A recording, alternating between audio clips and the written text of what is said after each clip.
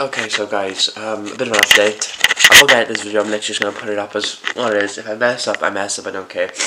Um, this is just an update. I'm coming down with a cold, so the videos are a little, it might be a little bit lax, but I'm working, the documentary's coming out on the 23rd of August, so look forward to that. That is very exciting. hope you guys have all watched the trailer, hope you guys are excited, just as much as I am, because I'm just making last minute edits to the documentary. And yeah, hopefully I'll be able to stream today.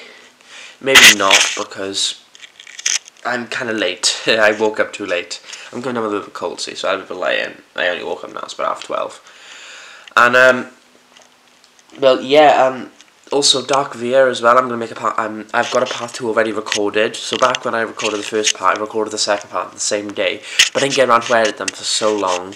But then when I got around getting back Premiere Pro, which is really expensive. You know, I'm paying I'm paying it myself. You know, like it's it's it's not cheap. It's really expensive. It's like it's a monthly payment. Like it's really expensive. But um, I'm going to edit part two together. Hopefully, get that out today as well. If not, definitely definitely tomorrow.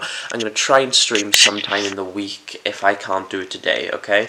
Anyway, thank you guys for watching my my my video. Thank you guys for watching this video, and I will see you all in the next one. Peace.